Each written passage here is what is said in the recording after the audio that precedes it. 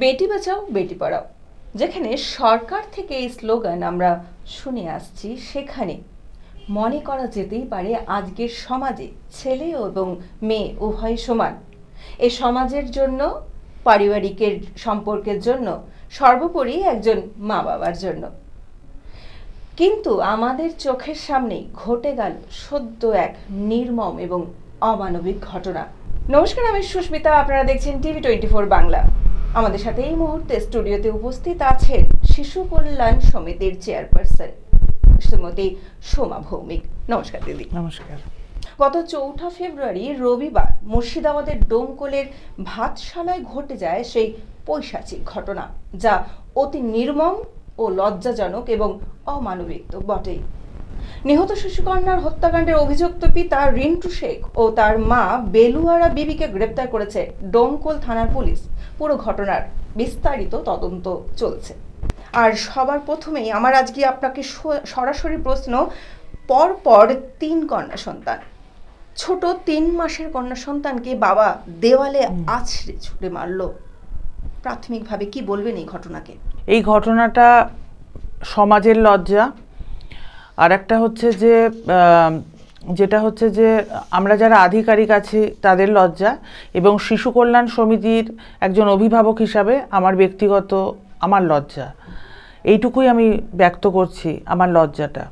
আমরা সবাই জানি মুর্শিদাবাদ জেলাকে আমরা পিছিয়ে পড়া জেলা বলি। আর ডোমকুল মহকুমা সেই পিছিয়ে পড়া জেলার মধ্যেও পিছিয়ে পড়া মহকুমা। শিক্ষার হার এখানে একদমই নিম্নমুখী। আপনি কি মনে করেন এই কারণে এই ঘটনা ঘটেছে? না। শিক্ষা শুধু শিক্ষা দিয়ে বিচার করলে হবে না। কিছুদিন আগে জলঙ্গি ব্লকে আমরা দেখেছি একটা কন্যা সন্তান জন্মগ্রহণ করেছে বলে তাকে ফুল দিয়ে সাজিয়ে তার বাড়িতে নিয়ে যাওয়া হয়েছে।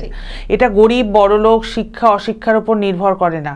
এই যে কালচারটা যেটা আমরা দেখলাম সেটা হচ্ছে আমার নিজে আমি একটা মানে সোশিওলজি স্টুডেন্ট হিসাবে আমি বলতে পারি যে এটা একটা পিতৃতান্ত্রিকতার একটা মানে একটা সমস্যা বা একটা কালচার যেটা আমাদের সমাজে এরকমভাবে ফুটে উঠেছে তার বহিঃপ্রকাশ আমরা দেখলাম। এখানে এই কালচারের মধ্যে মানে মেয়েদেরকে খুবই অবহেলা করা হয় এবং মেয়েরা যে কিছু করতে পারে বা সে যে জীবনে দাঁড়াতে পারে, তার যে কোনো স্বপ্ন আছে, এই সবগুলোকে ভাবা হয় না। সেই জন্য সেই সব পরিবারে এটাই মনে হয় কন্যা সন্তান হচ্ছে গলগ্রহ, কন্যা সন্তান হচ্ছে বোঝা। সুতরাং এই কন্যা সন্তানকে, কন্যা সন্তান হওয়া মানেই মা বাবার খরচ বা একটা এ সোসাইটিতে কোনো কিছু কন্ট্রিবিউট করতে পারবে না বা পরিবারে করতে পারবে না। তারই বহিঃপ্রকাশ আমরা দেখলাম এই মা বাবার আচরণে। উল্টো বোঝা বলে ঠিক হ্যাঁ বোঝা বলে একে মনে করা হয়েছে। কোনোদিনও তাকে সাদরে গ্রহণ করা হয়নি। এই যে নিহত শিশু কন্যাটির বাবা রিন্টু শেখ তিনি পেশায় একজন পরিযায়ী শ্রমিক। বিগত কিছুদিন আগে কেরালায় কাজ করবার পর তিনি ফিরে এসেছেন আর ফিরে আসার পরে আপাতত তার হাতে কোনো কাজ নেই। আপনি কি মনে করেন যে কাজের অভাব বা আর্থিক অনটনের ঘটনাকে কেন্দ্র করেই তিনি এরকম কোনো মানে ঘটনা ঘটিয়ে ফেলেছেন? ব্যাপারটা হচ্ছে রিন্টু শেখের সম্পর্কে আমাদের কাছে যা খবর আছে তাতে রিন্টু শেখ মানে কাজ খুব একটা করতেন না। তিনি যদি গরিব হয়ে থাকেন সেটা তার স্বভাবগত কারণে গরিব। তিনি বিভিন্ন নেশায় মানে মাদকের বিভিন্ন নেশা তার ছিল জুয়া খেলতো অনেক ধরনের খারাপ কাজের সাথে সে যুক্ত। তারও একটা মানে এই স্ত্রী ছাড়াও একটা অন্য পরিবার তার আছে এবং তার স্ত্রীরও একটা আলাদা একটা পরিবার আছে তাদেরও সন্তান আছে। সেইগুলো তাদের কেউ তার শ্বশুর বাড়িতে থাকে, কোনো স্ত্রী, আগের স্ত্রীকে সে তালাক দিয়েছে, সে সন্তান নিয়ে তার মতো করে থাকে। এবং একে যে বিয়ে করেছে, এই বাচ্চাগুলোর কোনো মানে ডকুমেন্ট নেই। মানে কোনো আধার কার্ড বলুন বার্থ সার্টিফিকেট বলুন, কিছু নেই। এবং এখানে কিন্তু যেসব বাচ্চাগুলো জন্মেছে, অর্থাৎ প্রথম বাচ্চা এবং দ্বিতীয় বাচ্চা, তাদের প্রত্যেককেই মানে বিভিন্ন ধরনের তাদেরকে নির্যাতন করা হয়েছে বা তাদের মেরে ফেলার চেষ্টা করা হয়েছে।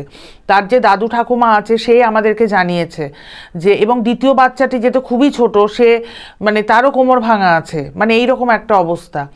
মানে এর ব্যাপারটাই তাই। মানে বাচ্চাগুলো মরে গেলেই এ শান্তি পেত। এইরকম একটা এর মানসিক অবস্থা।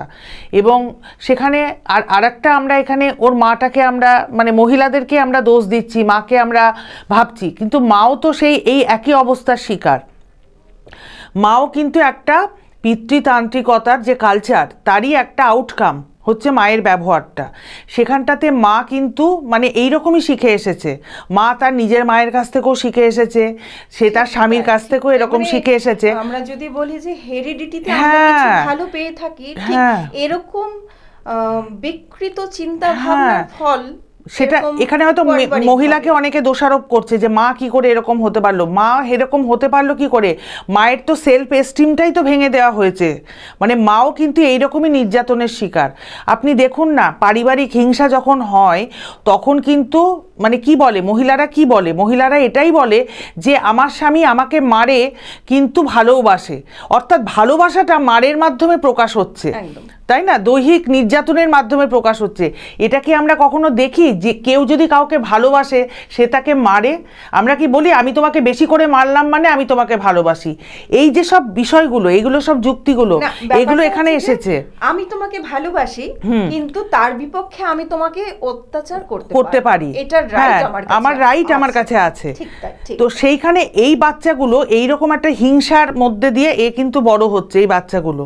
সেই জন্য এই বাচ্চাও কিন্তু বড় হয়ে একে যদি ঠিকমতো টেক কেয়ার যদি না করা হয় যদি যত্ন এবং সুরক্ষার অভাব রয়েছে এই পরিবারে তাহলে কিন্তু আজকে নয় ছোট বাচ্চাটাকে এরকমভাবে নৃশংসভাবে মেরে ফেলা হয়েছে। যারা বেঁচে আছে তাদেরকেও যদি ঠিকমতো না যত্ন এবং সুরক্ষার মাধ্যমে তাদের যদি বড় করা না হয় তাহলে কিন্তু তাদেরও কিন্তু বিভিন্ন ধরনের মানসিক অবসাদ বা বিভিন্ন ধরনের মানে অপরাধের সাথে তারাও যুক্ত হয়ে যাবে। আচ্ছা রাজ্য সরকারের থেকে যেখানে একাধিক প্রকল্প মানে আমাদের এম্পাওয়ারমেন্ট করার জন্য তৈরি করা হয়েছে মানে মহিলাদের সেখানে এই ধরনের যে ঘটনা নিচু স্তর অবধি কি পৌঁছচ্ছে না? ব্যাপারটা হচ্ছে, আমার তো প্রথমে স্বামী বিবেকানন্দের কথাই মনে পড়ে, যে উনি কমিউনিটি পার্টিসিপেশন সম্পর্কে বলেছিলেন যে সারা ভারতবর্ষে যত ধনসম্পদ আছে, সবই যদি আমি একটা গ্রামে যদি আমি উজাড় করে দিই, সেই গ্রামের কখনোই উন্নতি হবে না, সেই গ্রামের মহিলারা যদি সেই প্রোগ্রামের মধ্যে অংশগ্রহণ করে। তাহলে এখানটাতে হচ্ছে যে, আমি শুধু ওপর থেকে আমি সমস্ত কিছু প্রকল্প আমার আছে, কিন্তু মানুষের যে অংশগ্রহণ, স্বতঃস্ফূর্তভাবে যে গ্রহণ করা, সেই ক্ষমতাটা কিন্তু মানুষকে অর্জন করতে হবে। এটা একটা বিহেভিয়ার রিলেটেড প্রবলেম এটা একটা ব্যবহারের ব্যাপার। দেখুন না যে অনেক মা বাবা আছে যারা কিন্তু যথেষ্ট বড় লোক তাদের বাচ্চা কিন্তু ম্যালনিউট্রিশনে ভুগছে। কেন? গরিবের বাচ্চাও ভুগছে সে কিন্তু না খাওয়ার জন্য ভুগছে। কিন্তু বড় লোকের বাচ্চা তার তো খাওয়ার তো অভাব নাই। এটা হচ্ছে ব্যবহারিক ব্যবহারের ব্যাপার। মানে কীভাবে বাচ্চাকে খাওয়াতে হবে সেটা জানে না। আবার ওভার ইটিংটাও কিন্তু একটা ম্যালনিউট্রিশনের কারণ। তো এখানে হচ্ছে ব্যবহারের ব্যাপার। ব্যাপারটা হচ্ছে যে প্রকল্পগুলো আছে আমাদের এখানে যারা বাল্যবিবাহ দিচ্ছেন বা যারা মানে যেসব মেয়েরা ইলোপমেন্ট হচ্ছে তারা কিন্তু জানে যে আমার কন্যাশ্রী আছে আমার উপশ্রী আছে তা সত্ত্বেও কিন্তু তারা চলে যাচ্ছে বা তাদের বিয়েতে, বাল্য বিবাহ দেওয়া হচ্ছে বা মা বাবা বলছে তোরা পালিয়ে যা। এরকমও আছে আমাদের কাছে এরকম ঘটনাও আছে। কিন্তু মানে ব্যাপারটা ব্যাপারটা কি হচ্ছে যে এই যে প্রকল্পের সুবিধা অসুবিধা যা কিছু মানে এমন এমন অবস্থায় তারা এমনই গলগ্রহ যে এর কাছে এই দশ হাজার বিশ হাজার বা কুড়ি পঁচিশ হাজার টাকা তাদের কাছে কোনো ম্যাটার করছে না। ঠিক আছে? আর একটা ট্যাবলেট যে আঠেরো বছর হয়ে গেলেই তোমার বিয়ে হয়ে যাবে। কেন? আঠেরো কেন? একটা মেয়ের স্বপ্ন দেখা দরকার যে সে কি হবে। এই স্বপ্ন দেখানোটা ছোটবেলা থেকেই কিন্তু শিশুদের মনে কিন্তু ঢুকিয়ে দিতে হবে। যে স্বপ্ন তার মাও কোনোদিনও স্বপ্ন দেখেনি তারও বাল্য বিবাহ হয়েছিল তার দিদিমা কোনোদিনও স্বপ্ন দেখেনি তার ঠাকুমাও দেখেনি এই স্বপ্নগুলোই কিন্তু পরিবারের মধ্যে যেটা হয়ে থাকে সেটা হলো যে একজন ছেলে জন্ম নিল। তার মেন্টালিটিকে এরকম ভাবে তৈরি করা হয়ে থাকে যে তোমাকে বড় হতে হবে তোমাকে কিছু একটা করতে হবে নিজের পায়ে দাঁড়াতে হবে সংসার সামলাতে হবে বা মানে সমাজে তোমাকে প্রতিষ্ঠিত হতে হবে। কিন্তু সে একই জায়গায় আহ, মেয়েদেরকে বলা হয় যে ছোট থেকে এই তুমি এই কাজটি করো কারণ তোমাকে কিন্তু পরবর্তীতে শ্বশুর বাড়িতে গিয়ে অ্যাডজাস্ট করতে হবে। অ্যাডজাস্ট করতে হবে সামলাতে হবে। মানে শুরু থেকেই মানে শিক্ষার ধরনটা পারে। একটা পরিবারে দুজনের ক্ষেত্রে দুরকম আমরা দেখতেই পারি তাই না? এই প্রসঙ্গে আমি একটা কথা বলব। আমরা কিছুদিন আগে আপনারা পেপারে দেখেছেন যে আমরা চাইল্ড লেবার অনেক রেস্কিউ করেছি। সেখানে আমি এমন চাইল্ড লেবারও পেয়েছি যে তার দিদিকে সে ক্লাস এইটের পর আর পড়াশোনা করেনি কিন্তু তার দিদি কিন্তু ক্লাস টুয়েলভে পড়ছে ওই বাচ্চাটাই কিন্তু কাজ করে তার দিদিকে পড়াচ্ছে।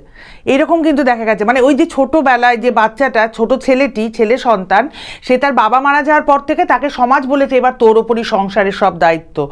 তোকে কিন্তু আর পড়াশোনা করলে হবে না তোকে কাজ করতে হবে। এরকমও আছে। আবার এরকমও দেখা যাচ্ছে মেয়েরা মা- মানে বিভিন্ন ধরনের মানে মুসলিম সম্প্রদায়ের মেয়েরা তারা কিন্তু কেউ বিএ পাস করছে কেউ এম এ পাস করছে। কিন্তু তার যখন বিয়ে হচ্ছে, তখন যার সাথে বিয়ে হচ্ছে, সে হচ্ছে পরিযায়ী শ্রমিক, সে হয়তো ক্লাস টু পাস করেছে ওয়ান পাস করেছে। আমাদের সিডাব্লিউসিতে অনেক মা বাবা আসে, মা কিন্তু সই করছে অ্যাপ্লিকেশান লিখছে, কিন্তু বাবা কিছুই করতে পারছে না। তো এই রকম আছে। এবং এই যে পড়াশোনার ক্ষেত্রে, এই যে এরকম মিসম্যাচ এটা হচ্ছে বিয়েটা কি? একটা মানুষ শিক্ষিত হলে দেখে, দেখা যায় যে স্বামী স্ত্রীর মধ্যে ফ্রিকোয়েন্সিটা কতটা ম্যাচ করছে। যখনই দেখা যাচ্ছে যে পয়সা আছে, পরিযায়ী শ্রমিকের পয়সা আছে, কিন্তু ওয়াইফের সাথে এই ধরনের কোনো রকম কালচারাল কোনো আদান প্রদান হচ্ছে না। সেই ক্ষেত্রেও কিন্তু একটা সামাজিক, একটা সমস্যার কিন্তু সৃষ্টি হয়। দিদি, আমি আপনাকে আর পরে পরবর্তী আমার কোয়েশ্চেন সরকারের পক্ষ থেকে আরেকটি স্লোগান আমরা দীর্ঘ মানে কিছু বছর মানে বিগত কিছু বছর ধরে শুনে আসছি হামদো হামারে দো ঠিক আছে? সেখানে তিন চার পাঁচ বা এর চেয়েও বেশি সন্তানের জন্ম দেওয়ার ক্ষেত্রে কি সরকারের যে নজরদারির গাফলতির জায়গাটা কি মানে খামতি থাকছে না? মানে এই বিষয়ে যে কি পদক্ষেপ নেওয়া উচিত বলে আপনার মনে হয়? এটা তো কিছুটা খবরদারি মানে এখানে অভাব রয়েছে আমি বলব নজরদারির অভাব রয়েছে। হ্যাঁ, সাধারণত মানে কোনো মানে মহিলা যখন হ্যাঁ। গর্ভবতী হন যখন সন্তান সম্ভাবনা তখন তার ডিটেলস তো নেওয়াই হয়। হ্যাঁ ডিটেলস নেওয়া হয়। এখন দেখা যাচ্ছে দেখুন হ্যাঁ মানে হ্যাঁ, যেগুলো আপনি আধার কার্ড আপলোড করে যেগুলোতে আপনি দিচ্ছেন সেখানে আপনার ডেটা আছে। তার বাইরেও তো অনেক তো বাড়িতে আহ, বাচ্চা জন্ম দিচ্ছে বা কোনো হয়তো নার্সিং হোমে দিচ্ছে সেখানে কিন্তু অন্য কিছু মানে সেখানে হয়তো দিচ্ছে না অনেক ডকুমেন্ট সেখানে দেয়া হচ্ছে না। সেগুলোও আছে। আর তাছাড়া হচ্ছে যে ধরুন আইসিডিএস ওয়ার্কার আশা ওয়ার্কার এদেরও মানে সেরকম হয়তো নজরদারিতে আসছে না, কিন্তু এটা কিন্তু হওয়া উচিত। আমরা দেখেছি আমাদের মানে যখনই কোনো ক্রিটিক্যাল ঘটনা ঘটে, তখন দেখা যায় যে সরকারের যে পরিষেবা সেখান থেকে কিন্তু তারা কিন্তু মানে দূরে থাকে। মানে সেই সব পরিষেবার মধ্যে তারা কিন্তু থাকে না। এইগুলো দেখা যাচ্ছে। সুতরাং এই সরকারি পরিষেবার মধ্যে মানে মার্জিনালাইজড পপুলেশনকে যে অ্যাড করা, সেই কাজটাও কিন্তু করাটা খুবই দরকার। আর একটা কিছু আর একটা ঘটনা ঘটে, যেগুলো হচ্ছে যে মানে সব কিছুর মধ্যে মানে আমার রাজনৈতিক বলুন, আমার সামাজিক বলুন সব কিছুর মধ্যে মানে শিশু সুরক্ষা বলুন বা মহিলাদের ক্ষমতায়ন বলুন, এই যে সব মুদ্রাগুলো যেগুলো রয়েছে, যেগুলো আমাদের মানে কি বলব মানে যে সমস্ত পরিষেবা যেগুলো রয়েছে, সেগুলোকে কিন্তু খুবই গুরুত্ব সহকারে দেখা উচিত। কিন্তু দেখা যাচ্ছে যে মানুষের মানে সেই যে রবীন্দ্রনাথ বলেছিল সেই সব ম্লান মুখে কে দেবে ভাষা? মানে মানুষের ভাষাটা প্রতিবাদের ভাষাটা হারিয়ে গেছে। সবাই ভাবছে যে রক্ষণাত্মক ভঙ্গিতে কিন্তু সবাই চলছে। যে আমি যদি কিছু একটা প্রতিবাদ করি আমি যদি কিছু বলতে চাই আমার অবস্থাটা টলমল হয়ে যাবে। নিজের সিকিউরিটিটাই আগে সেটা মানে দেখছে। আমি আমার বাড়ির পাশে হ্যাঁ হ্যাঁ। কি ঘটনা ঘটছে আমি দেখছি অন্যায় হ্যাঁ। হচ্ছে না। সেটা নিয়ে মুখ খুলবার কোনো সাহসও নেই এবং সাহসটা কেউ যেন অলিখিতভাবে বন্ধ করে দিয়েছে। যেমন ধরুন যে স্কুলে একটা মেয়ে যখন ড্রপ আউট হচ্ছে তখন কিন্তু স্কুল আগে জানবে। কারণ মেয়েটা অনেক মানে কামাই করছে বা কিছু। আপনি ভাবুন মানে আমাদের সময় যখন আমরা আমাদের কথা বলছি যখন আমরা স্কুলে পড়েছি দুদিন কামাই করলেই জিজ্ঞেস করতো তোর কি হয়েছে? মানে যে একটা আত্মব্যক্তিক সম্পর্ক একটা টিচারের সাথে একটা স্টুডেন্টের সেটা কিন্তু এখন কিন্তু অনেকটাই খামতি। কেউ কারও খোঁজ রাখে না। কেউ কারও খোঁজ রাখে না। আর একটা কোভিডের পরে স্কুল যাওয়ার যে কালচারটা এটাও কিন্তু অনেকটা কিন্তু কমে গেছে। হ্যাঁ আর একটা হচ্ছে যে বাচ্চাদের কাছে মোবাইল এসে গেছে। মোবাইলটাই এখন ধরুন নীল ছবিটা সে ইজিলি দেখতে পাচ্ছে মোবাইলে তারপরে নীল ছবিটাকেই সে মানে যৌনতা বলে মনে করছে। মানে এইসব মিসকনসেপশনই কিন্তু মানুষকে কিন্তু অন্ধকারের দিকে কিন্তু ঠেলে দিচ্ছে। এমন একটা নির্মম ঘটনা আমাদের চোখের সামনে ঘটে গেল। এটা আমাদের সমাজে কি বার্তা দিচ্ছে? কি বলে মনে হয় আপনার? এটা মানে বার্তা এটাই দিচ্ছে যে আমাদের আরও দায়িত্ব বেড়ে গেল এবং আমাদের আরও ভালোভাবে আমাদের কাজ করতে হবে। এবং আমাদের স্পেসিফিক স্ট্র্যাটেজি ডেভেলপ করতে হবে কোন কোন জায়গা ভালনারেবল এবং কোন কোন জায়গায় সরকারি পরিষেবা পৌঁছাচ্ছে না, সেই সব জায়গাগুলোকে আমাদের ম্যাপিং করতে হবে। এবং শুধু তাই নয়, প্রত্যেকটা পরিবার যাতে আমার ম্যাপিংয়ের আওতায় আসে। আর একটা হচ্ছে যে ইউনিভার্সাল ডেটা ম্যানেজমেন্ট প্রসিডিওর্স যেটা হচ্ছে আইসিডিএস এর কি ডেটা আছে এডুকেশন ডিপার্টমেন্টের কি ডেটা আছে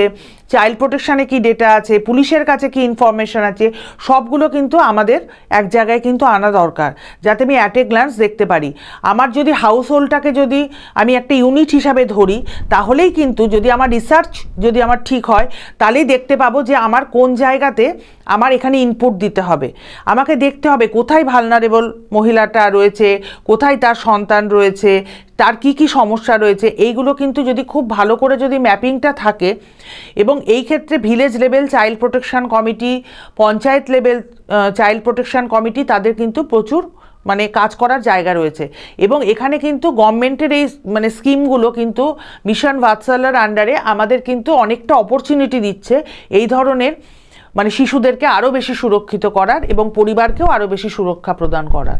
আমাদের সামাজিক কর্তব্যটা কি তাহলে সামাজিক কর্তব্য হচ্ছে মানুষের সাথে মানুষের কমিউনিকেশন যেটা হচ্ছে আমি দেখলাম কাউকে পাশের বাড়ির লোক আমি তাকে চিনি না তার পরিচয় জানি না। আমি দেখে তাকে হাসলাম না গুড মর্নিং বললাম না পাশ দিয়ে চলে গেলাম। আমার পাড়ায় কে থাকে আমি তাকে জানলাম না। এইগুলো এই যে আগেকার দিনে যে শরৎচন্দ্রের সময় যে গল্পগুলো বা রবীন্দ্রনাথের সময়কার যে গল্পগুলো সেখানে কি হচ্ছে? কোনো একটা মেয়ে বা কোনো একটা ছেলে তার যদি পিতামাতা মারা যেত কমিউনিটির লোকই তার দায়িত্ব নিত। এরকম আমরা অনেক গল্পে আমরা দেখেছি। সেই দিনগুলো আমাদের ফিরিয়ে আনতে হবে। কমিউনিটির যে রেসপন্সিবিলিটি সেই রেসপন্সিবিলিটিটাকে ফিরিয়ে আনতে হবে। আজ, আজকালকার দিনে যদি কোনো বাচ্চাকে যদি আমরা অসুরক্ষিত অবস্থায়, ধরুন আমি কোনো লালবাগেই দেখলাম, বা কোথাও হয়তো আমি লালদিঘির পাড়ের পার্কের মধ্যে আমি দেখলাম অসুরক্ষিত অবস্থায় কারোর সাথে, আমি কিন্তু মুখে কুলু পেটে থাকব না। আমি কিন্তু তাকে জিজ্ঞেস করব, দরকার হলে তার মা বাবার সাথে আমি কথা বলব যে, তোমার মেয়েকে বা তোমার ছেলেকে আমি অসুরক্ষিত অবস্থায় দেখেছি, তুমি এটার একটা দেখো, ব্যবস্থা করো, কি করা যায়? তোমার যদি কোনো অসুবিধা হয়, আমি তোমার পাশে আছি। কোনো ছেলে যদি মাদকের নেশায় যদি আক্রান্ত হয়, তাহলেও কিন্তু আমাদের পাশে গিয়ে দাঁড়ানো উচিত, আমাদের বলা উচিত। অর্থাৎ খোলা মনে কথা বলা। এই খোলা মনে কথাটা নিজের শিশু সুরক্ষায় কাজ করতে গেলে নিজের মনের দরজা খুলতে হবে। তবেই আমি অপরের মনের দরজাটা খুলব। এখানে অনেক মানে আমাদের এই মুর্শিদাবাদ জেলাতেই অনেক ধরনের অপরচুনিটি আছে, অন্বেষা কাউন্সিলার আছে প্রত্যেকটা জায়গায়, প্রত্যেকটা ব্লকে সেখানে আমি দরকার হলে যদি কারও কোনো সমস্যা হয়, সেখানে আমি তাকে পাঠাবো কাউন্সিলিংয়ের জন্য বা তাদেরকেও আমি ইনভাইট করব কোনো ভিলেজে কোনো শিশুর যদি কোনো হয়, কোনো সমস্যা। যে সমস্ত স্বেচ্ছাসেবী সংগঠন ডিস্ট্রিক্ট চাইল্ড প্রোটেকশন ইউনিটের আন্ডারে কাজ করছে, তাদেরকেও কিন্তু ছড়িয়ে দিতে হবে, তাদের কিন্তু কাজের ব্যাপ্তি ঘটাতে হবে। এবং সব জায়গায় একটা মানুষের একটা মন তৈরি করতে হবে, যে মনটা আমি আমার সমাজের জন্য কিছু করব এবং আমি zero tolerance of exploitation and abuse against children এই ব্যাপারটা কিন্তু আমাদের মনে রাখতে হবে এবং এটা আমাদের প্র্যাকটিস করতে হবে। তবেই কিন্তু আমরা কিন্তু পরিবর্তন করতে পারব। আমার একটি প্রশ্ন আছে সেটা মানে এই যে সোসাইটিতে যে ভাইলেন্স মনে করুন আমার পরিবারে কিছু একটা হচ্ছে আমি আমার অপোজিটের পরিবারের সে বুঝতে পারছে সেক্ষেত্রে মানে তার করণীয় কি? মানে সে কি মানে সে জানছে যে এখানে কিছু একটা ঘটতে চলছে বা আওয়াজ পাচ্ছে বা কিছু তার সন্দেহ যে কিছু একটা ঘটনা ঘটছে সেখানে তার কি করা উচিত? সেখানে যদি এরকম যদি কিছু ঘটনা যদি ঘটে দরকার হলে সেই বাড়ির যিনি হেড অফ দ্য ফ্যামিলি তাকে আমাদের ইনফর্ম করতে হবে। আমাদের এই যে ঘটনাটি ঘটে গেল হ্যাঁ, হ্যাঁ। সেক্ষেত্রে যতটা আমরা জানলাম রিন্টু শেখ তিনি একজন মানে অসামাজিক হ্যাঁ। কাজকর্ম বা নেশাগ্রস্ত অবস্থায় সে দিনের পর দিন কাটিয়েছে।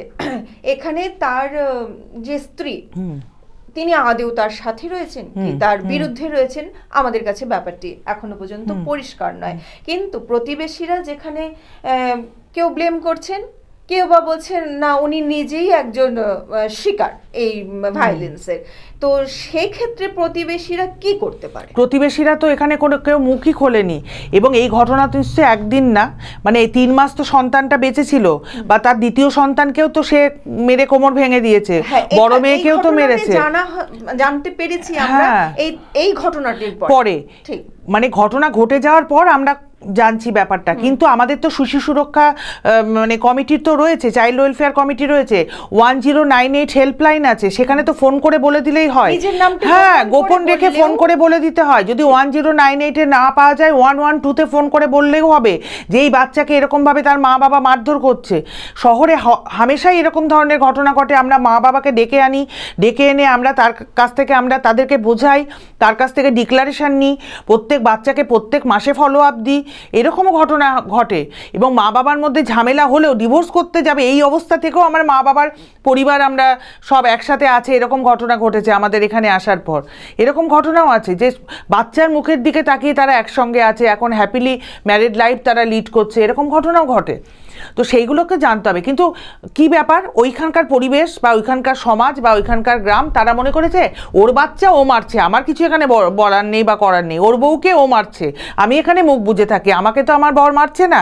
এরকম হচ্ছে। মানে শুধু নিজেরটুকু নিয়ে ভালো। Self centred society. এবং তার সাথে সন্ধ্যেবেলা হবে, টিভি দেখব, বাড়িতে সবাই মিলে একসাথে বসে গেজাবো। পরের বাড়িতে কি হচ্ছে, আমি কোনো খেয়াল খুশি বা কোনো খোঁজখবর রাখব না। এই হচ্ছে ব্যাপার এইগুলোই হচ্ছে তার জন্য এইসব ঘটনাগুলো ঘটছে। এই যে ঘটনাগুলো ঘটে মনে করুন এক্ষেত্রে জানি না সঠিক কি কারণ কিন্তু মনে করুন না পিতা না মা কেউই যখন সন্তানের দায়িত্ব নিতে রাজি নয় সেক্ষেত্রে আর কি কি পদক্ষেপ নেওয়া যায়? হ্যাঁ এখানটাতে হচ্ছে দেখুন যদি কারও হচ্ছে মানে বড় পরিবার হয়ে যেতেই পারে হয়তো কোনো ভুলবশত হয়ে গেছে মা বাবা ভরণ পোষণ করতে পারছে না আমাদের শিশু কল্যাণ সমিতিতে এসে সে বাচ্চাকে সারেন্ডার করে দিতে পারে। এটা অপশান আছে। অনেক মা বাবা আছে যাদের মানে তৃতীয় বাচ্চা হয়েছে বা চতুর্থ বাচ্চা হয়েছে আমাদের কাছে এসেছে সরকারের কাছে পুরো তারা সারেন্ডার করে দিয়েছে আমরা বাচ্চাকে বিষয়গুলো সম্পর্কে অবগত হ্যাঁ অবগত হওয়া দরকার। এটা কারা জানবে? এটা চাইল্ড মানে চাইল্ড প্রোটেকশন কমিটি এগুলো জানাবে। ঠিক আছে? মানে আমাদের ঘরে ঘরে বিশেষ করে হ্যাঁ। গ্রামগঞ্জে পঞ্চায়েতের দিকের যে এলাকাগুলো সেখানে কি কোনো কর্মী নিয়োগ করা হয় যে এগুলো সম্পর্কে অবগত? ইন কেস হ্যাঁ হ্যাঁ। যে যেটা প্রচার রয়েছে দুটো সন্তানের জন্য তার বাইরেও যদি কোনো সন্তান চলে আসে আমরা একটা সময় পর্যন্ত হয়তো ভেবেছে বাবা মা আমরা পারব। কিন্তু তারপরে হয়তো দেখছে যে মানে তারা টানতে পারছে না। তখন গিয়ে হয়তো কিছু একটা এমন অমানবিক কাজ করে ফেলে। কিন্তু সেটা যদি না করে যদি তাদেরকে অবগত করা যায় যে না এটা নয়। এরম নির্মম কাণ্ড না করে আপনারা আসুন হ্যাঁ। এসে আমাদেরকে জানান। আপনাদের কি অসুবিধে আছে? আমরা সাহায্য করব অবশ্যই। এটা ওরা জানে না বলেই হয়তো আজকে মেরে ফেলার মতো এত বড় একটা ঘটনা এরা ঘটিয়েছে। এটা যদি আমাদের কাছে যদি আমরা যদি জানতে পারতাম কোনো আধিকারিকের মাধ্যমে হোক বা আইসিডিএস এর মাধ্যমে হোক বা আশার মাধ্যমে হোক বা কোনো মাস্টারমশাই বা কোনো মেম্বারের মাধ্যমে হ্যাঁ তাহলে তো আজকে এই ঘটনাটা ঘটতো না। যখন ঘটনা ঘটে যায় তখন সবাই চলে আসে। তাহলে কি এগুলো রিপিটেশন জাজ করার মানে প্রয়োজন? মানে হ্যাঁ অবশ্যই। এবং এই যে সব মানে এই কমিটিগুলো স্ট্রেনদেন হয়ে গেলেই কিন্তু এই ঘটনাগুলো কমে যাবে। ঠিক আছে? এই ঘটনাগুলো কমে যাবে। এখন আস্তে আস্তে একটা কোনো একটা নতুন একটা ধ্যান ধারণা সেটা সমাজে প্রতিষ্ঠিত করতে একটু সময় লাগে। সেই জায়গাটা আস্তে আস্তে তৈরি হবে। তার মধ্যেও অনেক রকম ঘটনা ঘটে যায়। আজকে এটা ঘটে গেছে। তো নিশ্চয়ই আমি আশাবাদী এটা একটা হবে। আমাদের এরকম একটা পরিবর্তন হবে। অনেক মা বাবারও ফার্স্ট্রেশন থাকে। হয়তো সে জানে না বলে বোঝে না বলে তার কাছে কোনো রোল মডেল নেই। একটা মেয়ে যে একটা পুলিশ হতে পারে একটা মেয়ে যে স্কুল টিচার হতে পারে একটা একা মেয়ে যে তার মানে সমস্ত তার সংসারটা প্রতিপালন করতে পারে। সংসারকে বাদ দিয়ে হ্যাঁ জীবনটা সে যাতে হ্যাপি থাকতে পারে এই সবগুলো এই ভদ্রলোকের কাছে ছিল না যিনি খুন করেছেন। বা এই মহিলাটার কাছেও ছিল না যদি থাকতো তাহলে আজকে এই ধরনের ঘটনা হতো, ঘটতো না। এই যে তার অপরাধমূলক যে মানসিকতা, এই মানসিকতাটার জন্য সে নিজেও কিন্তু অনেক দিন থেকে এরকম করছে, অপরাধমূলক কাজকর্ম করছে। কিন্তু সেই কাজকর্মটাকে বিরত রাখার জন্য, এমনকি তার মা বাবাও কোনোদিনও মনে করেনি। আর মানসিক স্বাস্থ্য ব্যাপারটা তো প্রচণ্ড এটা একটা ইগনোর করার একটা বিষয় হয়ে গেছে। যে আমার পেট খারাপ হলে আমি ডাক্তারের কাছে যাব জ্বর হলে যাব কিন্তু আমার মানসিক অস্থিরতাটা এইটা জানার জন্য আমি কাউকে যদি বলি তাহলে সে আমাকে পাগল বলবে। হ্যাঁ। কিছু কিছু হ্যাঁ। কাছে যাওয়া মানে হ্যাঁ। হ্যাঁ, একজন মানে এটা একটা লজ্জা লজ্জা এটা লজ্জা। অন্য কিছু হ্যাঁ আমি আমার মনটাকে ভালো করার জন্য যে যেতে পারি। ডিপ্রেশনে। আছি বা আমি কোনো টেনশনে আছি। দেখানো যেতেই পারে। যেতেই পারে। সরকারি হাসপাতালেও হ্যাঁ সরকারি হাসপাতালে রয়েছে। আহ, তারপরে আমাদের মেডিকেল কলেজ আছে মেন্টাল হসপিটাল আছে সব জায়গাতেই আছে। সেখানে গিয়ে তার মানসিক অবস্থাটা বা তার। কাউন্সিলিং করলেই হয়তো তার মনের অনেক পরিবর্তন ঘটতো। এখন আমাদের মনে হচ্ছে যে কেন এরা আমাদের কাছে আগে আসেনি? কেন কেউ মানে আমরা কেন জানতে পারলাম না? আজকে যদি জানতে পারতাম তাহলে এই ছোট বাচ্চাটাকে এরকমভাবে মানে মারা যেতে হতো না। সেটাই আমাদের মনে হচ্ছে। তো আমাদের মানে সীমিত ক্ষমতা, আমাদের এই ক্ষমতা মানে এক একটা জায়গায় এক এক রকম মানুষ আছে, প্রত্যেকটা ডিপার্টমেন্টে আছে, সকলের সাথে একটা কনভার্জেন্স দরকার, সকলের কাছে একটা মেলবন্ধন দরকার। এই মেলবন্ধন যদি না হয়, আমরা যদি শেয়ারিংয়ের কোনো জায়গা যদি না পাই, তাহলে কখনোই কিন্তু আমরা সমাজটাকে ঠিকভাবে আমরা মানে কি বলব, সমাজের অন্ধকার দিকগুলোকে আমরা কখনোই আমরা মানে অ্যাড্রেস করতে পারব না। এরকম একটা নির্মম হত্যাকাণ্ড। এর কি প্রতিবাদ বা কি শাস্তি হওয়া উচিত বলে আপনার মনে হয়? এখন শাস্তি যেটা খুনের যে মামলা করা হয়েছে, সেখানটাতে খুনের যা শাস্তি সেরকমভাবেই হবে। সেই রকমভাবে সেটা এখন মানে লিগাল স্টেপ নেওয়া হয়েছে। তারা দুজনেই এখন কাস্টডিতে রয়েছেন। যেরকমভাবে মানে আইন আইনের পথে চলবে, কিন্তু আমরা আমাদের মানে কি বলব, আমাদের ডিপার্টমেন্টের পক্ষ থেকে আমরা আজকে বাচ্চাটার জন্য, একটা শিশুর জন্য আমরা আজকে স্পন্সরশিপের অ্যাপ্রুভাল আমরা দিয়েছি। এবং ঠাকুমাকে আমরা স্পন্সরশিপের অ্যাপ্রুভাল আমরা দেওয়া হয়েছে। ঠাকুমাকে এখন ফিট পার্সন আমরা সিডাব্লিউসি আমরা ঘোষণা করছি এবং ঠাকুমার হাতেই আমরা বাচ্চাগুলোকে আমরা দিচ্ছি। আর কন্টিনিউয়াস ফলো আপ আমাদের চলবে এবং একটু বড় হয়ে গেলেই বাচ্চাটাগুলোকে কারণ সে তো ওই বাড়িটাই তার কাছে ভয়ঙ্কর। যে ঘরে ঠাকুমা থাকে তার পাশের ঘরে তার মা বাবা থাকে। ওই ঘরেই তার বোন খুন হয়েছে। তো সেই জন্য যতক্ষণ মানে ও থাকতে গেলেই কিন্তু তার মনে হবে আস্তে আস্তে। হ্যাঁ কাউন্সিলিং এর ব্যাপারটাও হচ্ছে এবং তার সাথে সাথে যাতে ওকে আমরা অন্য জায়গায় রেখে যাতে পড়াশোনা করানো যেতে পারে সেই ব্যাপারটাও নিয়ে আমরা চিন্তা ভাবনা করছি। এতক্ষণ আমরা কথা বললাম শিশু কল্যাণ সমিতির চেয়ারপারসন মাননীয়া সোমা ভৌমিক মহাশয়ার সাথে। আমরা বিস্তারিত আলোচনা করলাম এই সদ্য ঘটে যাওয়া এক লজ্জাজনক অমানবিক ঘটনার ব্যাপারে। প্রশাসনের কাছে আমার আবেদন যে এই ঘটনার বিস্তারিত তদন্ত করা হোক, দোষীকে কঠিন থেকে কঠিন শাস্তি দেওয়ার জন্য আবেদন করছি। আপনারাও যদি আপনাদের আশেপাশে এরকম কোনো ঘটনার খবর পান, যদি মনে করুন যে এর চুলচেরা বিস্তারিত আলোচনার প্রয়োজন আছে বা সমাজে কোথাও এর সম্পর্কে জানানোর প্রয়োজন আছে, তবে অবশ্যই আপনারা আমাদের এই চ্যানেলে যোগাযোগ করবেন। আমরা নিশ্চয়ই সাহায্য করব। আজকে আমাদের আলোচনা এখানেই শেষ করছি। আপনাকে দিদি আরেকবার ধন্যবাদ জানাই আজকে আমাদের সাথে আপনার মূল্যবান সময় অতিবাহিত করার জন্য। নমস্কার। নমস্কার।